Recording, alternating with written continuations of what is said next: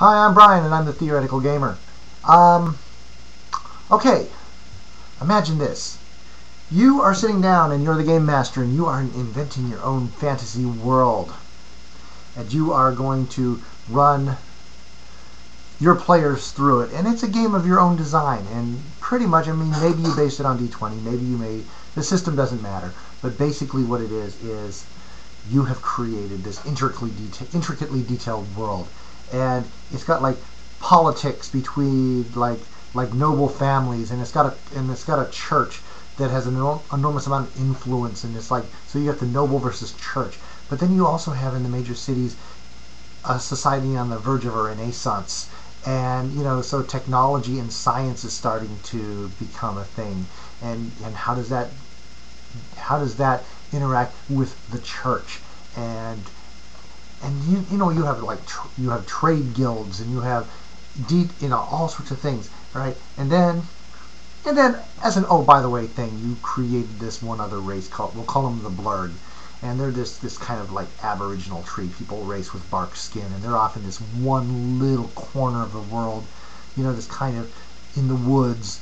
And you you know because you had this idea of creating the whole colonial versus aboriginal uh, moral battle and so but, for the most part you've got this you know you know you've got warriors and wizards dealing with this fantastic world and you, and you say okay everyone make a character and come back and we will start we will start the campaign, and your five players go off and they scribble, scribble, yeah, and they come back. Like, what are your characters? First guy, I'm playing a blurg. Oh, uh, you? Yeah, I'm playing a blurg too. Yeah, blurg for me. Blurg. Blurg. Oh, because no one wants to play the human. This is an exaggeration, you know.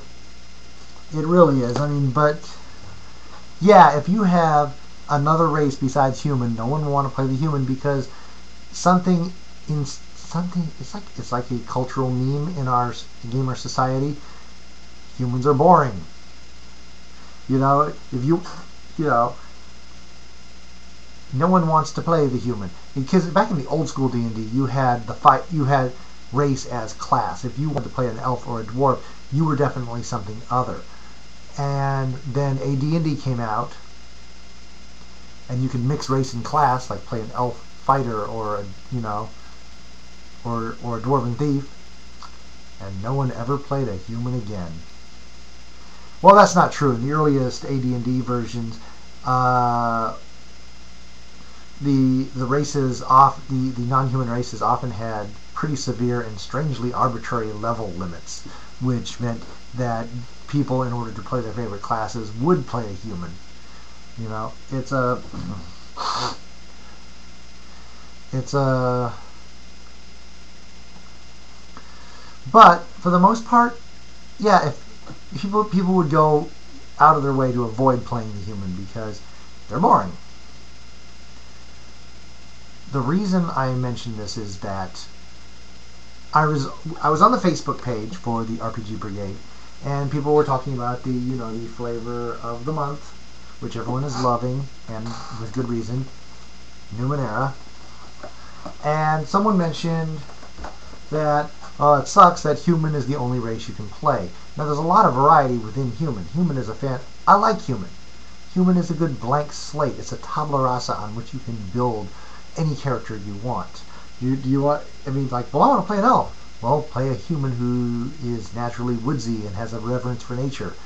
You know, it's you know, and Alright, side note, elf, no such thing.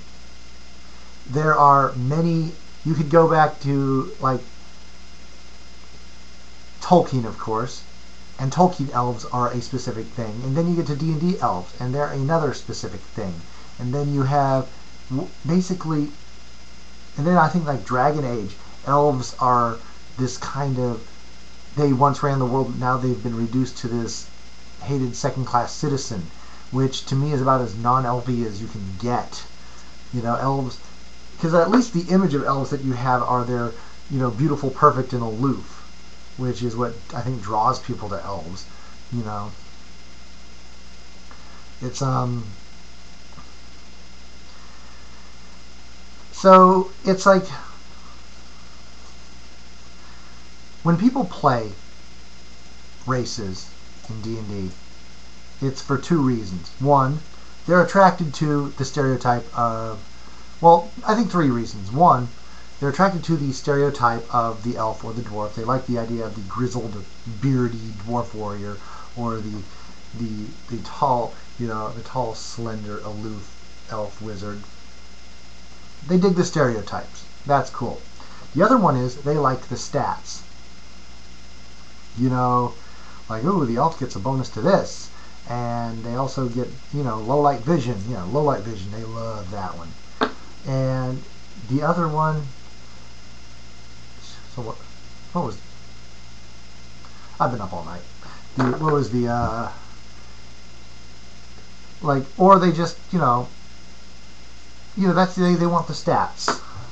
Or they like the stereotype. Or, oh man, I had another one. Anyway, the point is, they, they create, they create these characters and when they find, and a lot of them play them in what I call the humans with pointy ears syndrome. It they they create, you know, okay, elf wizard, okay, and then, you know, they have the elf powers and the elf stats, but once the play starts, they just become the party wizard, you know, and either the whole elven background doesn't come up, or if it does, they ignore it and just want to play the party wizard, and and race becomes meaningless, right? It's um.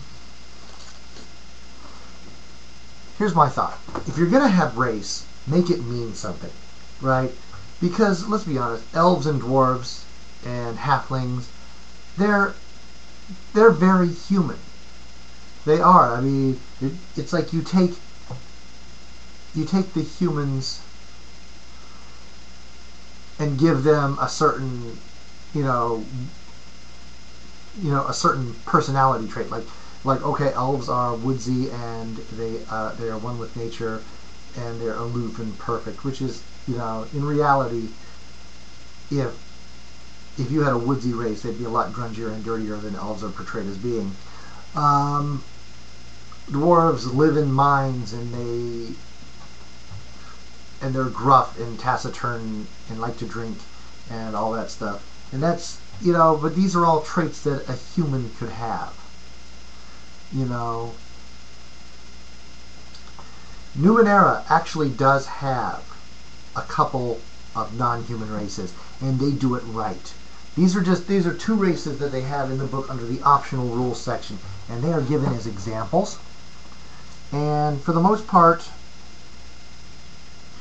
um, they are done right because they are very inhuman. The first, first one is the Varjellen.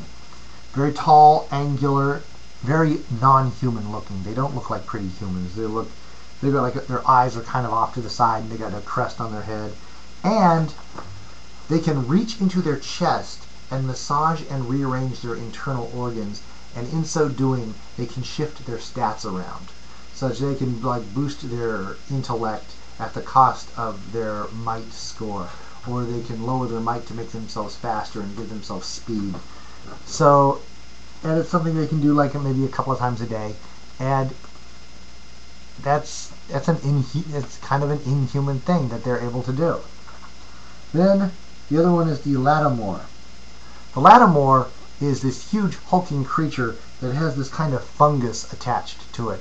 And the fungus and the Lattimor are both intelligent beings in a way, and they form a they form a symbiosis. So some usually they're in a kind of fugue state where it's both of them operating at once, but occasionally the big brute guy can take over, and in which case he's very very you know impulsive and angry and fighty and or sometimes the fungus takes over and it's very thoughtful and contemplative and intelligent. And it's and this is simply how this race operates and it's how it nat- this is very natural to shift between these states as needed or desired. And it's like I said, these are the in, the non-human races are very inhuman. They are not they are not humans with pointy ears. However, another so and it's like if you which is why I like the idea of if you're making a fantasy world, don't just throw in a bunch of races just to throw in a bunch of races. However, if you do decide to throw in a bunch of races, don't hold back. One of my favorite games, which I have reviewed before, is Talislanta. Talislanta, it's I think because the reason the reason everyone wants to play a blurg in this hypothetical fantasy game I created is because everyone wants to be the beautiful and unique snowflake. They all want to be, you know, they don't want to be just another human character. And of course, when everyone shows up to the table and has created a blurg, they're all kind of looking at each other, kind of glaring, like, I was going to be the special one. We can't all play a blurg, and of course, no one wants to say that because, you know, they don't want to admit that they're, you know, entitled little princesses who just want to be the special character. But Talislanta is great because everyone gets to be the beautiful and unique snowflake.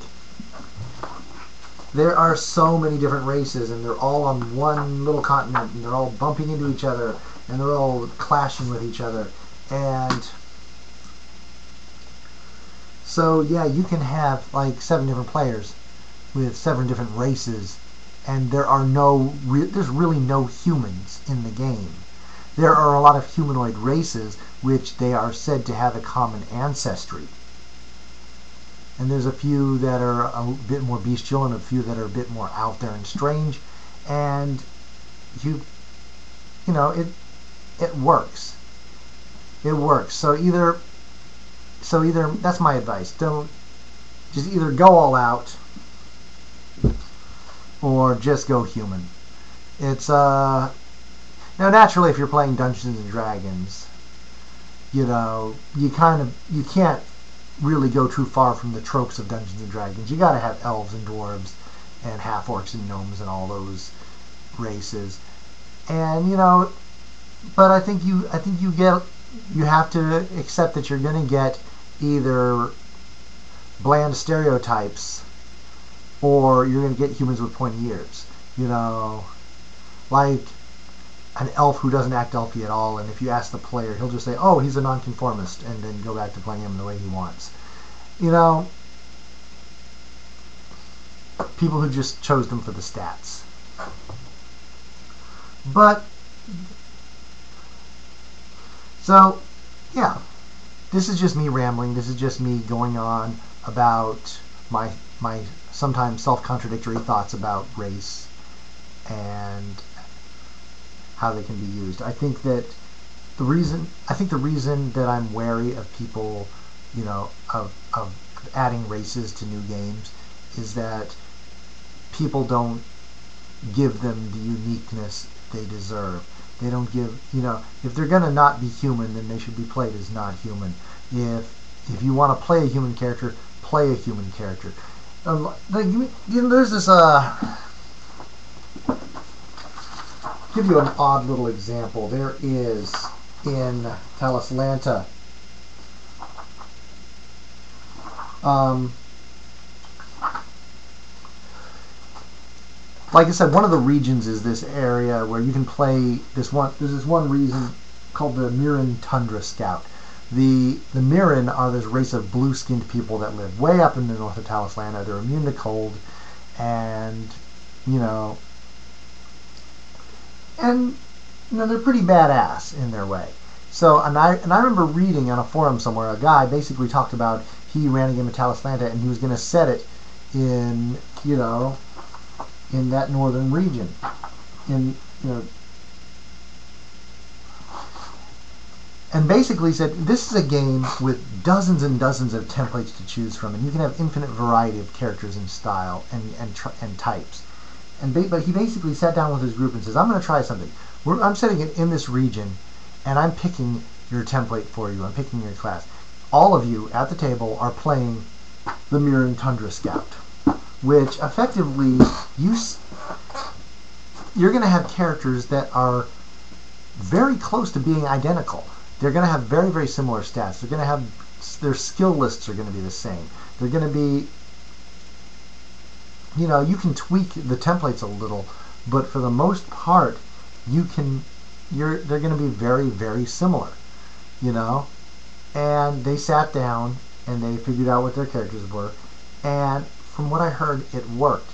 You had, they had a group of characters that were, you know, their stats were very much the same. They were different in every other way. It was like creativity thrives on restrictions. If you add a set of restrictions, you people will find a way to be creative within those restrictions. Right? You play D&D, you have someone playing an elf, and he plays him kind of elfy, and the dwarf is played kind of gruff and dwarfy.